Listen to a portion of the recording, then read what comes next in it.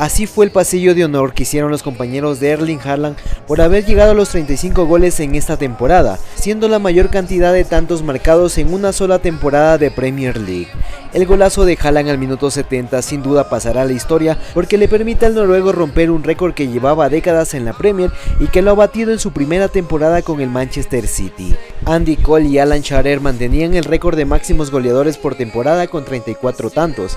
Haaland después de 28 años y en su primera temporada logró romper esta tremenda estadística y a falta de varias jornadas del final de temporada. Además del festejo de Erling Haaland, todo el Manchester City tuvo motivos para celebrar otra victoria que los acerca al título de Premier. Con un partido menos son líderes del torneo con 79 puntos, dejando al Arsenal con los partidos completos en la segunda posición con 78.